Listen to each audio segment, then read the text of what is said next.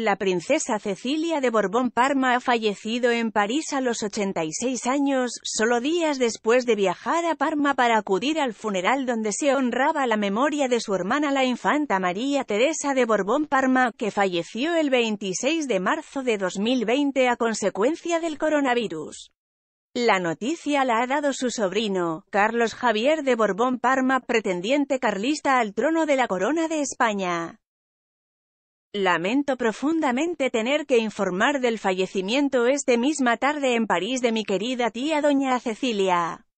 Incansable luchadora, siempre dispuesta a ayudar a los otros con una sonrisa que le hacía especial, de una vitalidad desbordante, trabajaba de enfermera en una leprosería, o se ofrecía voluntaria en las inundaciones del Vallés, o trabajaba para la FAO a favor de Laos, era el mensaje a través del que Carlos Javier ha informado del fallecimiento de su tía.